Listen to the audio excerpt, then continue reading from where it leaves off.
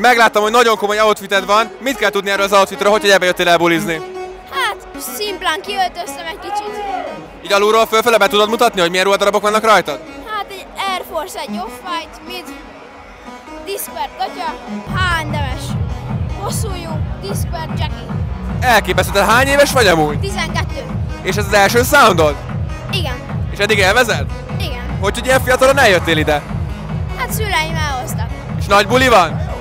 Szereted az ilyen zenéket? igen. Tényleg? Milyen, milyen dance move-okat szoktál csinálni? Hogy táncolsz erre? Mutasd már egy-kettőt. Nagyon komoly, érez jól magad.